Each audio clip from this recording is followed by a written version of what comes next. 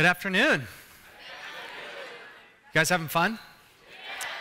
So, I think I actually have the biggest challenge of all, which is going after all of these fantastic speakers and challenges because they've all been so inspiring to me. So, uh, my name is David Lang, and I'm with a company called Open ROV. And I want to talk today about science and exploration. But I want to do it in a, maybe a, a different way than you've heard before because when you think of science, a lot of people, I think of white lab coats and PhDs and researchers, or when they think of exploration, they think of National Geographic explorers going off to far flung places and sending back photos. I hate those images because I think science and exploration is something that is in all of us and something that we all can do. So I want to tell you my story and some stories of people I know, and hopefully you'll agree with me and come along on the challenge. So I need to start at the beginning. And that's five years ago. I met this guy named Eric Stackpole, same age as me, and when I met Eric, he told me this crazy story about this underwater cave in the foothills of the Sierra Nevadas in Northern California when there were rumors of lost gold from the gold rush that were thrown to the bottom of this underwater cave. And he had found this old clipping from a treasure hunting magazine that showed a map of where this cave might be. And Eric was animated. He had characters and talked about treasure hunters who had gone and tried to find this, and no one had been successful. But Eric had this idea that he was going to build an underwater robot to go explore this cave. And I thought, wow, that's really fascinating. And something I was, at the time, I had a job, I was sitting around writing emails every day, and I knew that I needed some more adventure in my life, and I wanted to be a part of that. There was one big problem, and that was Eric and I didn't know what we were doing. So we didn't know how to build robots. Like Jessica, I am not an engineer, I'm not a scientist, um, I don't have any background or training in this. But what we did have was the internet. And so we created this website called openrov.com, and we told the world about our idea, our, our hope, our dream to create this underwater robot that could explore this underwater cave. And at the beginning, when we created the website, it was just Eric and I going back and forth, basically me asking him questions about physics and buoyancy and all these things that go into making an underwater robot. Um, and not too many people. But over time, we steadily got more people who I think just took pity on us and started giving us pointers in the right direction. So before I go on, I want to tell you a little bit about what an ROV is. So an ROV stands for remotely operated vehicle, and it's basically an underwater drone. So it's got a camera, it's got lights so you can see things, it's got uh, thrusters so you can drive it around and you can control it and see what it sees. Our robot can dive to depths of 100 meters. This is uh, a sunken sailboat we found. So eventually, with Eric and my design, we finally got to the point where we could test this thing out at the cave. So we mounted this expedition, meaning we got our friends together and we drove up to this cave and we found it. And just like the story had said, in the back of the cave there was this six foot diameter hole pool of water that just went straight down. You shine a flashlight in it, and it just went down, down, down, down, down. So we put our robots in, we drove it down. It was really an exciting moment. And we didn't find any gold. But, but that's not the end of the story. So we got a lot of attention for doing that. And so much attention that we started getting messages from people all over the world who said, I want a robot like that. And so we put our project on Kickstarter. This was in 2012. And we wanted to raise $20,000 to get our project going and off the ground, and we ended up raising the 20,000 dollars in about two hours, and we ended up raising over $100,000 on Kickstarter, which was really, really exciting for Eric and I. But then we realized, oh my gosh, we got to make all these things. So we started. We sent these out as kits. So we sent them out as parts, and then people would build them themselves. And all the boxes started coming into Eric's garage, and it was I'm not going to lie, it was really intimidating. Um, so we quickly outgrew the garage operation and we were able to ship these things out. And that was in 2000, the end of 2012. And over the past three years, these things have been to 50 countries. Thousands of them have gone out there monitoring infrastructure. They're following divers. They're going into cenotes in Mexico. They're studying penguins in Antarctica. There's sharks in Cuba. They're all over the world. So this has gone from just a small garage project. It was just Eric and I working in his garage. I was sleeping in my car and living outside. And to this global community of DIY explorers. That's pretty profound. Um, we're getting videos from all over. We've now got more underwater robots than anybody else. We're one of the largest manufacturers in the world. Um, and it's still growing. This is our latest model, our newest model. This is the Trident. It's actually really cool. It doesn't move like traditional ROVs. It flies more like a fighter jet underwater. You can see this video. It's actually super fast. It, it's, it's a whole lot of fun to fly. So we've just started manufacturing this. And like Jessica, we're dealing with supply chain, supply chain, supply chain. So that's our problems right now. But okay, that's us. That's our story. And as fun as that is and as cool as that is, there's an even bigger story that I think is more exciting. And that's the broader trend of technology for science and exploration becoming more accessible and more powerful. This is our neighbor in, in Oakland. This is Chris Anderson.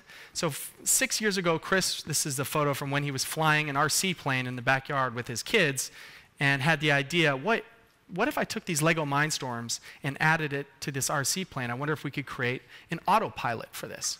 And so Chris started playing around with this with his kids. He created a website just like we did. He called it DIYdrones.com and started asking people, hey, can we create a low cost autopilot for these RC components? Because all of a sudden, all of these, the computing power that goes into your cell phones is accessible building blocks for makers to toy with.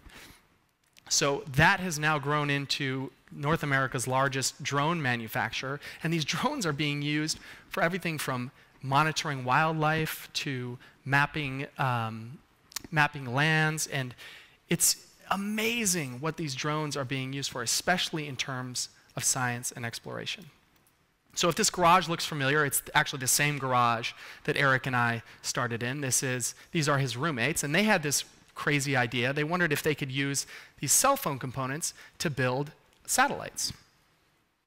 And they started prototyping and different designs. They used this standard called a CubeSat standard, and they took some, some pretty powerful cameras and computing power, and they created their own satellite. And their goal was to launch hundreds of these things and able to, that are able to get an image of every location on Earth every day. And they started a company, and they built all these satellites, and they launched all these satellites, and they're doing that now. They're getting an image from every location on earth every day. They started in the same garage as we did.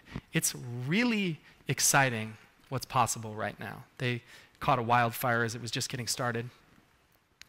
So I told you about the drones. The drones are being used to monitor wildfires in Indonesia. There's another group that I, that I found out about that built a 50 cent origami microscope. It's called the Foldscope. So basically, it's a piece of paper, you fold it up, and it works as a powerful microscope, and it only costs 50 cents. So people are using this all over the world. You know, this, is a, this makes the tool very accessible. And you can go to their, their website is called Microcosmos. It's the community webso- website for Foldscope. And the community there, these are not professional scientists. Some of them are. But a lot of them are just people who have really fascinating questions. And I think there's this trend of putting tools in the hands of people and seeing what questions they have, and then allowing them to really follow those curiosities and those questions. Another group was after the, the Fukushima nuclear reactor meltdown in, in Japan a group got together and said, wow, we don't know what's happening with our environment right now. So they built their own DIY Geiger counters and began driving all over Japan and out into the ocean and trying to sense what the radioactivity levels were in and around their, their areas. And they have now created this, this global community and the largest data set of, of radioactivity in the world. And this was just a group of people that got together and said, what's going on in our community? There's all sorts of innovation and development happening in terms of DIY lab equipment, so low cost biotech tools. Um, I know, I think there's one in Chicago, but I know in New York and San Francisco and in LA and all these places, there are these community bio labs where even if you don't have a PhD in biology, you can go there and learn and take classes and begin to do experiments. So it's not just us. You know, we were not just an anomaly. We're actually part of this much bigger trend. And so, great, there's all these low cost tools, but what does that mean? Well, it means a lot for science because this means that all of a sudden the barriers to asking questions are much lower. And so there's this whole new trend of citizen science, people who aren't necessarily professional scientists rising up, networking together online, using their mobile devices, and pooling and collecting their data, working with professionals, and actually doing real and important scientific research. So this is one story from our community. This is Laura James. Laura is a, a diver and uh, also starts, started building underwater robots. She lives in, in Puget Sound, and she became very concerned when she was diving and driving robots and started seeing that sea stars, starfish, uh, in her area were just starting to die off. Like they really were struggling and not doing well. And so she alerted scientists. And scientists looked into it and they confirmed that, yeah, this is a big problem. And it turns out that up and down the West Coast, sea stars were dying. And so it's called sea star wasting syndrome. And nobody knew what was causing it. And so Laura and got more people involved. She decided to start a citizen science project called Sick Starfish. So she invited anybody and everybody, if you're diving or driving robots or just walking up and down the, the shore and come across a tide pool, to snap a photo on Instagram or Facebook or Twitter and hashtag 6SeaStar. And all of that data that they collected then got put into the research that they were doing at UC Santa Cruz and was used to actually help figure out what was going on. It turns out that it was a virus and that it was linked to um, it was linked to, to warming oceans. But the, the important thing, and it's, it's really tragic, but the important thing and the exciting thing for me is looking at what Laura did. She just instigated this community of people to care about an issue. And this is going on in their own backyard. And so the coverage of this, this whole event changed. The media coverage was not just about, oh, there's six sea stars. It was, yeah, there's six sea stars, but there's a way to get involved. You can participate in this study. You can help us discover what's going on. And now that, that community monitoring has translated, it's now going on with sea urchins. They're trying to figure out which starfish are more affected or less affected. They're still helping, they're involved. The scientific method actually becomes the message. You know, it's not just a news headline you see where it's like starfish are dying. It's here's how you can actually play a part. I want to bring that actually closer to home. Does, does everybody know what's going on in Flint right now? I mean, it's, it's a disaster. Uh, the lead levels there are unacceptable, and I don't, I'm not even going to go into the, the problems of, of what, they do, what has happened, but I do want to point out an aspect of the story that you may not be aware of. So, this is a, a situation of institutional failure. The people who were supposed to be monitoring these situations did not do a good job. And the way that they actually figured out and proved that these lead levels were too high, it was a citizen science effort so a professor at Virginia Tech got together with the community and said, You guys need to do this yourselves. And so they were the ones who used these new cheap and affordable sensors to measure what was happening. And they said, you know, this is unacceptable. And now you see this media coverage. It's, it's a community that's transformed, that's not reacting to science, it's using science to tell a story. And so that is my challenge to you. I want you to illuminate the unknown in your community. And that can be in the natural world, or that can be in the built environment, or that can be with some social issues that are going on. But use citizen science to share that discovery with the world.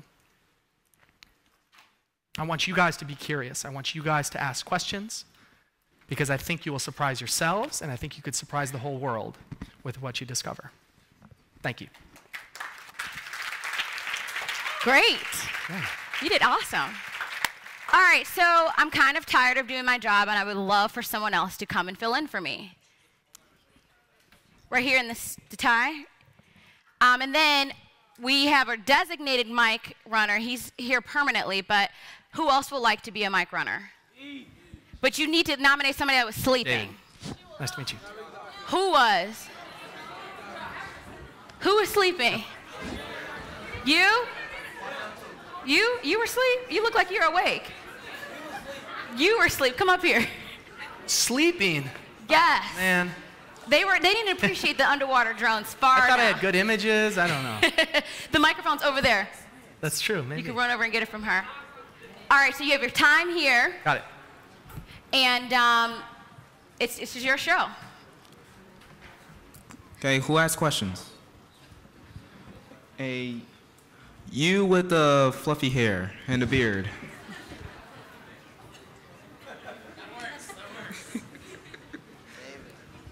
Uh, okay, so uh, I'm Dylan. Um, I actually had a question about the uh, the the rover.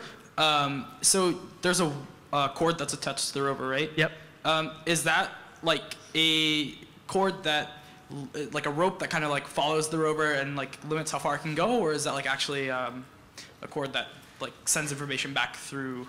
Um, That's a great question. And can I tell you something else? That's always the first question. Is what is what's that wire for? Um, and so I apologize that I didn't bring it up in the presentation. But the tether is so we can get live video back to the surface, so you can actually control it and see what it sees. Because radio waves don't travel as well through water, so it's not quite like a drone where you can just send it off and see the video. If you want to see live video, you need the tether. But if you want to program it to do some autonomous mission, you could do that too. um, and then my other question was like, how far? What's like what's the length of the cord?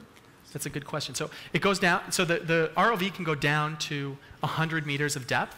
We are developing a, a tether that can go out uh, 300 meters. That's what the protocol can do. So it can go further along than it can go deep. Good questions.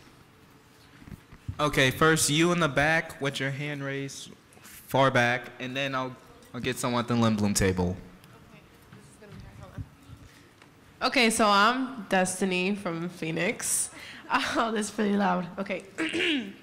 so my my question was, okay, so you have a cord connecting to the underwater thing. What if sorry, what if like an animal swims through it, gets connected and like chokes itself? So we just pretty much killed an animal. So how would we prevent that from happening? You can't get live footage through like, like you know something else, because that would hurt the sea animals. So not that's a good question. So, um, or you could get it, you know, it could get tangled on coral, or there, that's a really good question. Um, and, and I think what's great about this is it's specifically designed to be neutrally buoyant, so it really stays fairly stable in the water. We've never had a problem with an animal getting caught. Um, on the flip side, we've actually have people who go out and rescue whales. So when humpback whales get stuck in crab traps or whatever, they actually use these devices to go out and see what the issue is. So we've actually seen the opposite problem. Or it's- I guess we've actually seen it to solve that problem. That's a good question. Can you get a mic down there?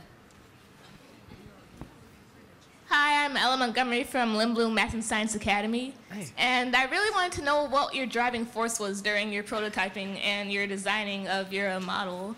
So, what made you want to continue? That's such a great question. And this is something that I wish Jessica would have talked more about because you should see our.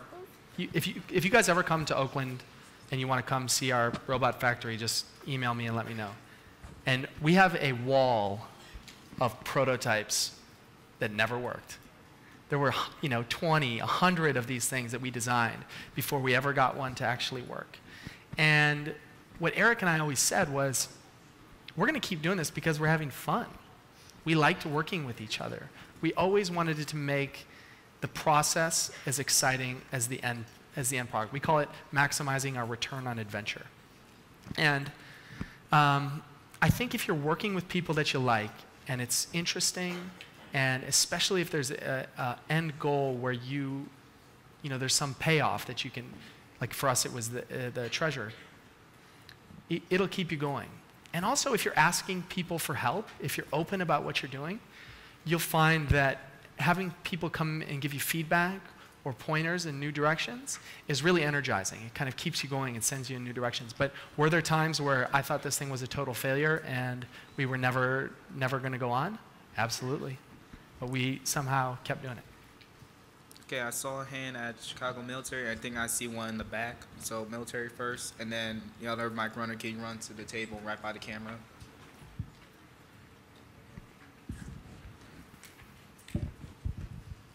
Um, my name is Jose Landaverde from Chicago Military Academy. Um, do you have versions of the drone that could have mods on it, like extra, you know, arms to pick up stuff or microphones to pick up sound waves or something through the water? Yeah, that's a great question. So our project has always been open source. So we've encouraged people. We, it- it's not like we, we say, don't open this or don't mod with it. We encourage people to do that. So if you go on to openrov.com and you click on the forums, you can actually see all the ways that people are modifying their ROVs. And I've seen them in all shapes and sizes. People have made big ones and small ones. People have added, I, a few people have worked on adding hydrophones to, to listen to sounds. People are adding different sensors. People are adding grabber arms to pick things up. Um, absolutely. That's what the whole project is all about. We encourage our community to add value in that way. Thanks for the question. It's great. Remember the school in the back. Do we have any questions on this side of the room before I move the mic? Okay, I see you. Um, I would have a question, just like with Jessica, with the socket, how can people like get influenced or encouraged by your inventions? Like, can they take it apart and create something better, or you know, expand on it to help benefit you and them as a whole? Yeah, yeah, absolutely. That's a great question. I think that kind of builds off of the last one in that we think about that a lot, actually. Because when we got started, these devices, I mean, the, underwater robots are actually not new. They've been around for 20 years. They just cost $100,000. And so for us, we never had access to these tools, and we always thought that was such a bummer. And so we used off the shelf tools. We used things like Arduino, which is an open source microcontroller. Um, we used 3D printers and other people's tools. And pe- we were able to stand on the shoulders of giants. And we think often about who's going to be able to invent or what people are going to be able to do with this tool. So we always think about it as a tool, and we are very curious and excited uh, and supportive of who's going to come behind us and who's going to build on top of what we've done. Dance. It's a good question. Aside Thanks. from the dab, are people Okay, doing it right now? there was a hand over at that table. Yes, please stand up. Hi, my name is Ariel. I'm from Kenwood. I have a question about you, or if you know this with any of the other drone projects, if you've ever had an issue concerning privacy and the use of data that you guys collect. Yeah, that's a good question. Um, so, the drone, the drone projects that I know of, there are a ton of privacy concerns. There are a ton of safety concerns with flying drones. Um, and I'm sure you guys have seen all of those in the news, right? I mean, these are headlines where, you know, drones get in the way of, of helicopters trying to put out forest fires or whatever, whatever the case may be, privacy. Um, underwater, it's not so much a privacy issue. I mean, the, you know, there's a few fish who maybe didn't want to be bothered, but um, it's, that's less of an issue. I think the, the, the concern and the question that we get, and where we love the dialogue, is, well, what if you're going to be screwing up a reef, or what if you're going to, you know, influence that habitat? That's something we're really conscious about and thinking about, um, and trying to create community norms around. But um, privacy is, n- is less of a, is less of a, less of a one. But it's a, that's a great question. Okay, I saw a couple hands at Chaz. Chicago, I'm, okay.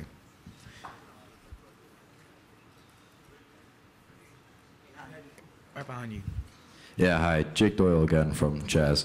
And uh, I was just wondering, what do you think, um, like, let's say that we wanted to maybe use some of your drones or some of other people's drones, like, to do this challenge, um, and maybe we had struggles getting our hands on these in order to do these challenges. Do you think that you would be able to help us in any way on, like, getting the resources to use these or Yep. um, things that we needed for that? Absolutely. So I have a, I, I, yes. If you guys want to do a challenge underwater and you want to build an underwater drone to do it, I will make that happen. Or, if- or if like, do you have any way that, like, if we wanted to do something that wasn't just underwater, like something in the air or on land, you, would you have I- any connections will- to I- land-based or air-based drones for that? Uh, I do, and I will, yes. And so, okay, can I give out my email address? Definitely good to know. Okay, my email is david at openrov.com. And if you, Thank you. got, if you guys decide to do this challenge and you have any questions about any of the Come up. technical stuff, I'm really excited to, to help you connect with the, the resources and the tools that will work. I'm excited about that. Thank you. Okay, I saw a hand at, forgive me if I butcher this, Admonson, the blonde with the glasses. And then I'm going to get Bogan. We've still got five minutes, so we can get, we can get a few more. in. Hi, I'm Natalia from Amundsen, and my question is relating to the drones. You told us that they are used to monitor wildlife. My question to you is to what extent do the drones monitor? Do they disturb hunting and other activities? Oh, that's a good question. And can I tell you guys something else? Roald Amundsen is my favorite explorer of all time.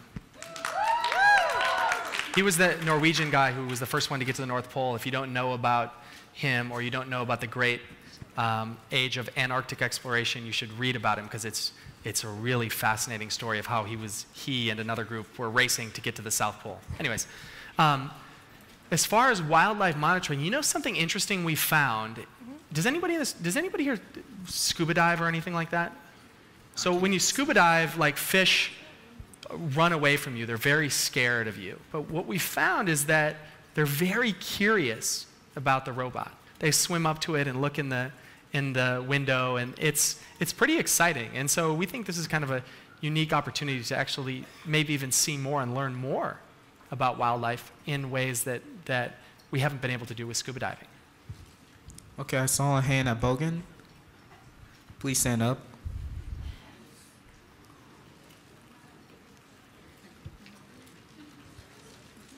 You're doing a great job. Thank you. Hello, hi, my name is Anne Jacquez, and I have a question. Yeah.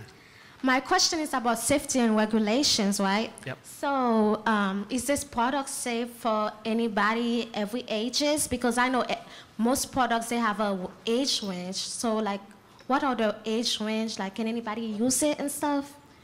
Yeah, so the age, we, we typically say for our underwater robot that if you want to build it, high school is, is great. There are high schools all over. We work with a lot in Oakland with high schools who are building them. And um, it's, it's doable for, for that age for sure. Okay, so kids under eight years old cannot use it and stuff. Our robot probably, unless you have someone building it with you, I would say wait until the next version. Okay, thank you. That's a good question. Thanks. Hi, I'm from, uh, I'm Caesar from Infinity High School. Um, I was wondering, uh, the uh, first, like the first time you started building it, how many uh, Prototypes? prototypes you had to go through? Yeah. So- for, for perfecting. it? Yeah, that's a good question. I was just listening to a, a recording of when we went to that cave, and we were t- we actually said this was the 21st prototype that we had that we that 20 before it started to work, basically. So quite a few. And it's funny because I have this really vivid memory of the first time we ever tested one of these in the pool, and and it's kind of going back to your question about um, did, did it ever seem like we wouldn't get and it sank like it, as soon as we put it in it just flooded and it just sank to the bottom of the pool and i was so heartbroken because we'd put all this effort in and i don't know if you guys watched that video of the fixed mindset ver- versus the growth mindset but i was so sad about the robot but my teammate eric was so excited he's like david look at all this stuff we just learned he's like this didn't work and this didn't work but this did and, and i just realized at that moment that if you're going to build these things you got to embrace failure you know, you got to take every one of those opportunities and figure out what you did learn, and then go on to building the next one. So, lot, it took us a long time. We have time for one more. Hi, I'm Josh from Northside, and I was just wondering. I had a quick first question. Um, there's a picture of the, I think it was a sailboat that had sunk to the bottom. Yeah. Um, and in the picture was the ROV. So I was just wondering, like, who took that picture? Like, what took that? That's a good question. Was it two ROVs? We, yeah, we've definitely had two ROVs in the water, but that one was taken in Lake Tahoe. And I am actually pretty sure that a diver took that. You know what happened is we went down, we were just going in Lake Tahoe, just testing the robot, and we didn't even know the scuba divers were down there. And we, and we came across them, and I think they were just as surprised to see us. And I think they snapped that photo, actually. And um, I was also wondering, so what you were planning to do in the future with the um, ROV that you created, and also what you might be looking into for the future in terms of other um, different technologies that you were looking into making. Yeah. So in the future, um, you know, it's funny because when Eric and I first met, and he told me that story of underwater treasure and all this stuff, we sat around for three hours and we had this conversation that was about our lives and what our hopes and dreams were. And we said, wouldn't it be cool if there were 10,000 of these things all over the world and you could just log into your computer and drive one anywhere around the world? And so right now we're working on live internet control, so you guys could just pull up your phones and be controlling and driving a robot that's halfway around the world in Fiji or Bermuda, exploring right from where you're sitting. And that is our vision, and we're actually dangerously close to getting to that initial dream that we had. So uh, I, I always tell people be careful with your dreams because you never know. You never know, you might get there. All right, let's give our presenter a round of applause. Thanks. Good job.